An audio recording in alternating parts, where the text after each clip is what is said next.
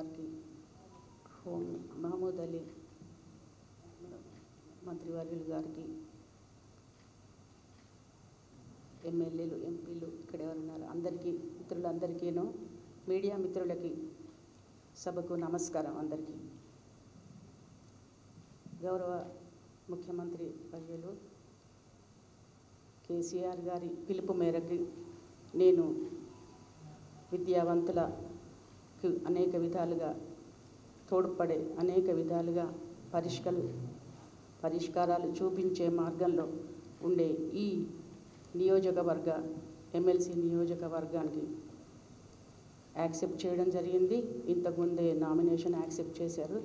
అది శుభసూచకంగా నేను తలుస్తూ నాకే ఎందుకు ఓటు వేయాలి అనే మాటకు ఒక సమాధానం చెప్తాను.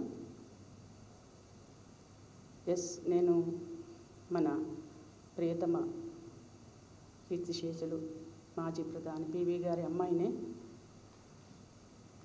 ఆయన ఎప్పుడు కూడా మా పుట్టినప్పటి నుంచి చిన్నప్పటి నుంచి కూడా ప్రజాసేవ ప్రజాసేవ అనే మాటే విన్నాము. అదే పరిస్థితుల్లో పెరిగాము మన నర నరనరంలో కూడా మాకు అది ఒక జీన్ లాగా జీర్ణించుకుపోయింది ప్రజాసేవ అని.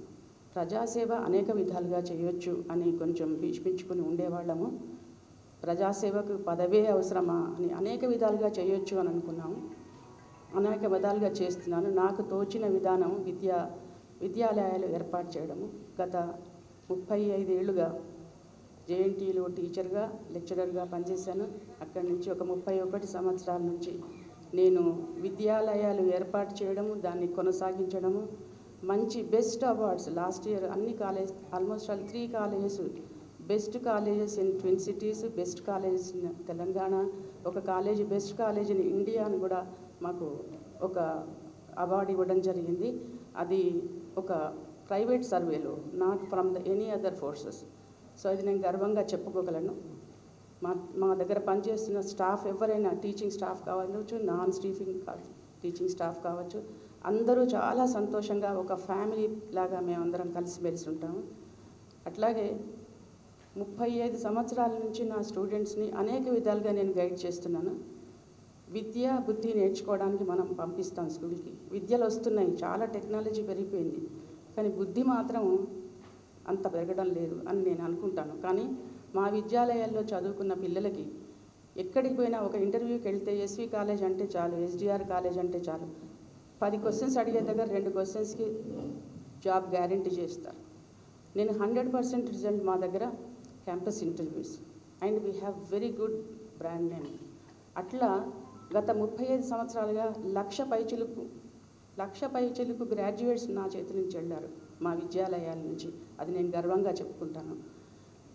పివి నరసింహారావు గారి శత జయంతి ఉత్సవాల సందర్భంగా పలుమార్లు జూమ్ మీటింగ్స్లో మేము పాల్గొనడం జరిగింది. ఎప్పుడో nine two nineteen ninety one first batch పిల్లలు లేకుంటే nineteen seventy five or eighty five JNTU students. నేను ఒకటే క్లాస్ తీసుకున్న స్టూడెంట్స్ కూడా ఎంతో సంతోషంగా వాళ్ళు నాతో మాట్లాడుతున్నారు. అంటే ఈ దేశం కాక ఈ రాష్ట్రం కాక ఈ దేశం కాకుండా విదేశాల్లో కూడా వాళ్ళ ప్రతిభను చూపించుకుంటున్నారు. అక్కడ ఏది ఎటువంటి ప్రాతిపదిక ఉండదు వేరే దేశాల్లో. వాళ్ళ విద్యే వాళ్ళ టాలెంట్తోని మాత్రమే వాళ్ళు బతకాలి. ఇక్కడున్నని వెసులుబాటులు మనకు ఒక దేశానికి పోయినప్పుడు ఉండయి మీ అందరికీ తెలిసిన విషయమే. ఇది నేను గర్వంగా చెప్పుకుంటున్నాను. కొన్ని కొన్ని ఫీల్డ్స్ ఎలా ఉండేదంటే తొంభై nineteen nineteen nine eighty nine దాకా కూడా కొన్ని విద్యారంగాల్లో కొన్ని పర్టికులర్ ఏరియాస్లోనైతే చాలా తక్కువగా చూసేవాళ్ళు. మనకందరికీ పేరెంట్స్ కూడా డాక్టర్ ఇంజనీర్ తప్పించే మిగతా ఏరియాస్ ఎక్కువ తెలియదు. సెవెంత్ క్లాస్ నుంచి ఐఐటి ప్రిపరేషన్ స్టార్ట్ అవుతుంటుంది. కానీ కొన్ని అంశాలు ఎలా ఉన్నాయంటే ఒక అడ్వర్టైజింగ్ ఆర్ట్ అనుకోండి ఒక ఫోటోగ్రఫీ అనుకోండి మీ అందరూ చేస్తున్నారు. ఇలాంటి విషయాలు ఎక్కువ పట్టించుకునే వాళ్ళు కాదు. కానీ నా స్టూడెంట్స్ ఇప్పుడు ఎంతో మర్యాదగా ప్రపంచంలో ఎంతో బాగా బతుకుతున్నారు ఫీల్డ్లో. They are showing their talent. అదృష్ట వశాత్తు టెక్నాలజీ పెరిగిన తర్వాత ప్రతి రంగంలో కూడా ఈ వృత్తి విద్యా కోర్సులు ఆ విద్య విద్యాల పాస్ అయిన వాళ్ళందరూ కూడా టెక్నికల్ పర్సన్స్గా బాగా మంచి పని చేస్తున్నారు. అణువు నుంచి అంశ అంతరిక్షం దాకా నా స్టూడెంట్స్ పనిచేస్తున్నారు. నేను నేను ఊరికే చెప్పడం లేదు. ఐ విల్ ప్రూవ్ యూ ఒకసారి మనం మళ్ళీ తీరిగ్గా కూర్చుని మళ్ళీ పెద్ద ఇంటర్వ్యూస్ ఇస్తాం. చిన్న అణువు నుంచి అంతరిక్షం దాకా కూడా నా స్టూడెంట్స్ పనిచేస్తున్నారు.